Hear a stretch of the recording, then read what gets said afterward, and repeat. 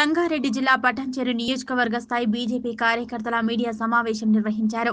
Patancheru revenue డివిజన్గా మార్చాలని స్థానికంగా సబ్ కోర్టు మరియు సబ్ రిజిస్ట్రేషన్ ఆఫీస్ను ఏర్పాటు చేయాలని సంగారెడ్డి జిల్లా అధ్యక్షులు నరేందర్ రెడ్డి మరియు పటాన్చెరు మాజీ ఎమ్మెల్యే నందీశ్వర్ గౌడ్ మాజీ జెడ్పీటీసీ సభ్యులు గడిల శ్రీకాంత్ గౌడ్ ఈ రోజు పటాన్చెరు భారతీయ జనతా పార్టీ అసెంబ్లీ కార్యాలయంలో మాజీ జెడ్పీటీసీ సభ్యులు గడిల శ్రీకాంత్ గౌడ్ ఆధ్వర్యంలో విలేకరుల సమావేశం ఏర్పాటు చేశారు. ఈ సమావేశానికి ముఖ్య అతిథులుగా జిల్లా అధ్యక్షులు నరేందర్ రెడ్డి మాజీ ఎమ్మెల్యే నందీశ్వర్ గౌడ్ విచ్చేసిన అనంతరం పటంచేరు నియోజకవర్గంలోని సమస్యలపై భారతీయ జనతా పార్టీ సమస్యల సాధనా కమిటీని వేయటం జరిగింది. ఈ ఒక్క కమిటీ ద్వారా నియోజకవర్గంలోని సమస్యలపై పోరాటం చేయడానికి సన్నద్ధమయ్యారు. భాజపా జిల్లా అధ్యక్షులు నరేందర్ రెడ్డి మాట్లాడుతూ రాష్ట్ర ప్రభుత్వం అవలంబిస్తున్న ప్రజా వ్యతిరేక విధానాలను ఎప్పటికప్పుడు ఎండగడుతూ ప్రజా శ్రేయస్సే లక్ష్యంగా బీజేపీ పనిచేస్తుందని తెలుపుతూ ఈ కమిటీని ప్రకటించారు. ఈ సమితి కేవలం రెవెన్యూ డివిజన్ సబ్ రిజిస్ట్రేషన్ మరియు సబ్ కోర్టుల సాధన సమితి కాకుండా రాష్ట్ర ప్రభుత్వాన్ని ప్రశ్నిస్తూ ప్రజల కష్టాలను తీర్చే సమితిగా పనిచేస్తుందని తెలిపారు.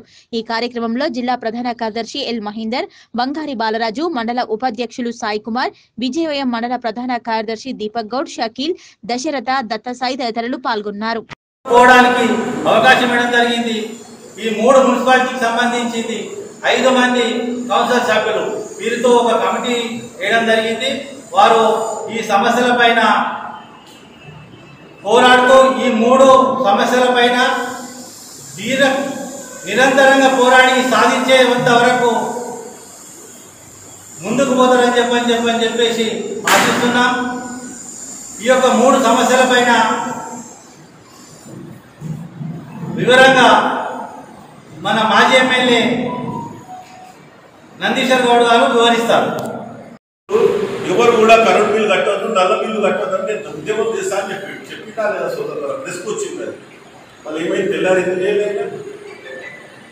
చేయాలి కదా. నువ్వే చెప్పినావు ప్రెస్కు నేను చేస్తున్నా అని మళ్ళీ ఇంకా పోయిందని ఏమి నీ ఆలోచన ఏంది మీది లోపల?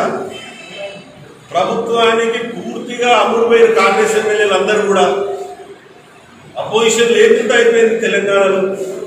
ఈ విధంగా అమ్మ అన్యాయంగా డబ్బులు ఉన్నాయి కదా అని అధికారం ఉంది కదా అని చెప్పేసి ముఖ్యమంత్రి గారు మరి అందరినీ కూడా నిర్వీర్యం చేయాలని అన్ని పార్టీలను. అది కరెక్ట్ కాదు కదా? కానీ ఆయన కూడా నేను మొదలొచ్చి మొదలు నువ్వేం చేసినావు? నేను అడుగుతా ఉన్నా. నువ్వు నువ్వు చేస్తే మేము మిమ్మల్ని సన్మానిస్తాం భయ ఎమ్మెల్యే. మేము వేరే పార్టీ అయినా కూడా నేను గౌరవంగా అరే మా ఎమ్మెల్యే చేసిందని సన్మానిస్తాం నిన్ను. అది లేనేలేదు కదా.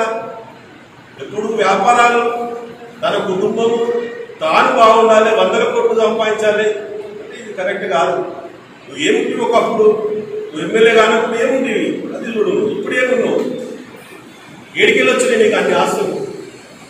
ఇలా వందల కోట్లు ఆస్తులు ఏడికెళ్ళి వచ్చినాయి నీ దగ్గరికి. మరి నేను ఎందుకు చెప్తా ఉన్నానంటే ఇప్పటికైనా కళ్ళు చేసి మరి ఈ సమస్యలను తొందరగా పరిష్కారం అయ్యే విధంగా మరి ఆయన ముందుకు రావాలని చెప్పేసి కూడా నేను విజ్ఞప్తి చేస్తా ఉన్నాను. ఎందుకంటే RDO office sub court sub register office. ఈ మూడు పెద్ద సమస్యలు రాలేదా ఆయన ఒక్కసారి ఆఫీస్ అయితే ఒక్కో రోజులో ఆర్డర్ వచ్చాయి సబ్ కోర్టు కూడా అంతే సబ్ మినిస్టర్ ఆఫీస్ కూడా అంతే ఆయన చేస్తారు పని అది.